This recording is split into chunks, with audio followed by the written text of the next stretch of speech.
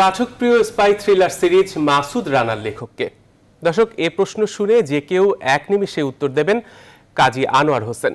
কিন্তু পরিবর্তিত বাস্তবতায় উত্তরটি ভুল। কারণ মাসুদ রানা সিরিজের লেখক কাজী আনোয়ার হোসেন নন। এর লেখক শেখ আব্দুল হাকিম।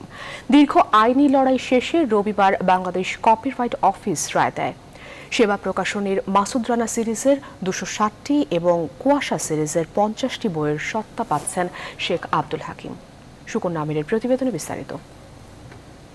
গত বছরের উনত্রিশ জুলাই মাসুদ রানা সিরিজের লেখক হিসেবে মালিকানা সত্ত্ব দাবি করে সেবা প্রকাশনীর সত্ত্বাধিকারী কাজী আনোয়ার হোসেনের বিরুদ্ধে বাংলাদেশ কপিরাইট আইনের একাত্তর ও উননব্বই ধারা লঙ্ঘনের অভিযোগ করেন শেখ আব্দুল হাকিম।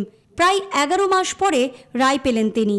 এখন থেকে এই সিরিজের দুশো ষাটটি এবং কুয়াশা সিরিজের পঞ্চাশটি বইয়ের সত্য লেখক হিসেবে তারই প্রাপ্য বলে রায় দিয়েছে কপিরাইট অফিস।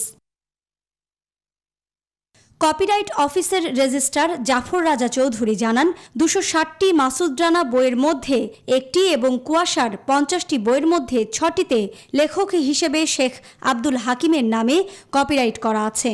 বাকিগুলো কপিরাইট করা নেই। তবে সেগুলো যে শেখ আব্দুল হাকিমেরই লেখা, তা তিনি প্রমাণ করেছেন।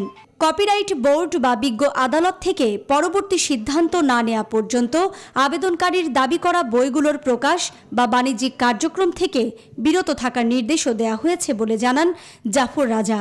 দাবিকৃত বইগুলো যাতে এখন আর কোনো প্রকাশ যাতে না করেন এবং বিক্রয় যাতে না করেন। ওনার কপিরাইট রেজিস্ট্রেশনকৃত যে বইগুলো আছে, এই বইগুলো বিক্রি করে উনি কত টাকা এ পর্যন্ত পেয়েছেন, তার একটা হিসাব বিবরণী পরবর্তী ত্রিশ দিনের মধ্যে কপিরাইট অফিসে দাখিল করার জন্য।